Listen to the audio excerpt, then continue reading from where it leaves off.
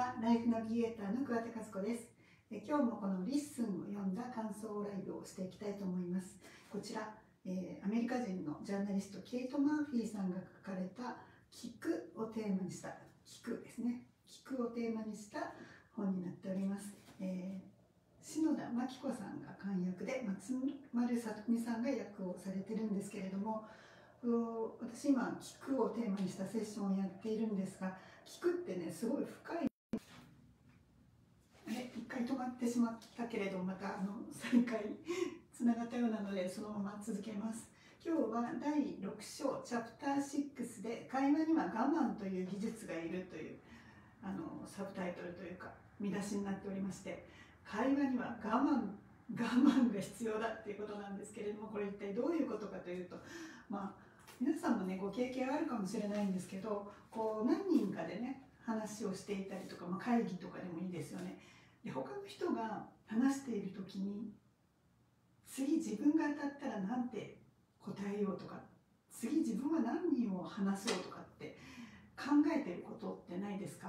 まあ、順番に自己紹介が回ってくるとかね順番になんか当てられるみたいな時は特にそうかもしれないんですけどこう聞いているつもりでもなんか耳の右から左に通り過ぎていて頭の中は自分が話すことを考えてしまっているみたいなことってあの、まあ、結構あったりしますよね。でこの第6章で書かれているのはその、まあ、そういうのがまどうして起きてくるのかっていう話でもあるんですが話すことと思考することの違いっていうことで、うんと思考をするのは話すことよりも速い速度が速いんですねで人の話を聞いている時になんか思考がどんどん走っていってしまって聞いてるようで聞いてない自分の思考がどんどんどんどん回っていくでその思考の合間に断片的に相手の話がこう耳に入ってきて聞いているなんかこうキーワードになるものとか自分が意識を向けられるものとかなんか気になることとかはこう耳に入ってくるんだけれどもそうじゃないものはこう流れていって自分の思考が同時進行で走ってるみたいなことが起こったりするんですよね。で先ほど言ったように次に言うことを自分が考えてる。ね。それってやっぱり聞くことに集中してないわけですよね。いやなんか早く答えないといけないとか次当たった時にちゃんと言わなきゃいけないとかまあ、その順番じゃなくても1対1でもそうなんですけれども相手が何か話してることに対して自分はじゃあどう返そうかっていうのを考えながら聞いてしまっているっていうことってよくあると思うんですよ。それは何でしょうねもうこうなんか相手の話が途切れてじゃあ次自分が話す番になった時に沈黙が怖いというかね早く答えないとまずいんじゃないかみたいなこう意識が働いてしまうっていうことなんですね。そうではなくて一回しっかり聞いて聞いた上でそこから考えてもいいと、ね、沈黙がちょっと嫌だったら「ごめんねちょっと待って今考えるから」っていうことを一言こう添えるとかあそれっていうのはちょっと私の場合はみたいなこと「うーん」とかねなんかそういうこうリアクションを入れながらこう考えていくっていうのでもいいのかもしれないですよね。でその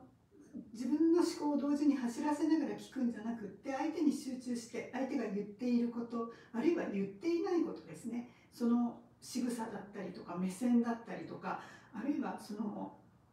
言葉になってないもっと奥にあるものそういうものに意識を集中することによって、えー、自分の考えから自分の心を解放していって相手に集中する。でこれってなんか相手の方がねすごい興味のある話をしてる時はもう本当夢中になって聞けるってあるかもしれないんですけどそうじゃない時というか、まあ、例えば自分が言ったことに対して反対意見を言われているとか違う考えを持っているとか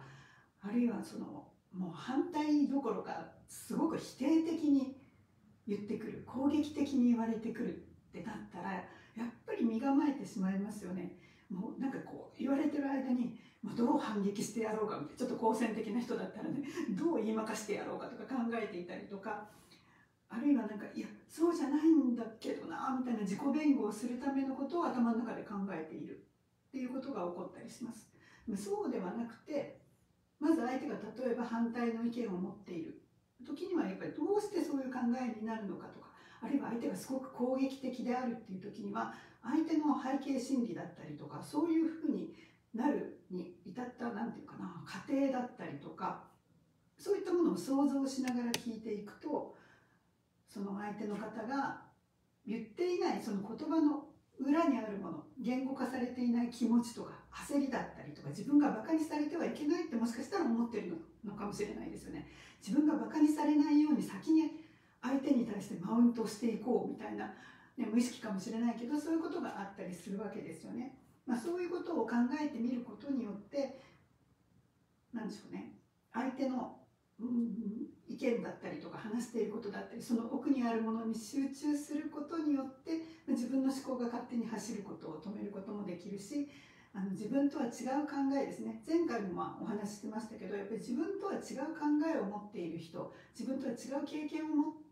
している人の話を聞くことによって追体験ができるとか自分の、え、視点だったりとか、え、知覚が広がっていくっていうことがあるので、まあ、そういうふうにこうベクトルを向ける方向を変えていく、まあ、いろんなところから見ていくっていうことがとても大事なんじゃないかと思います。まあ、それで、まあ、今回のこのサブタイトルというか見出しになっているのが「会話には我慢という技術がいる」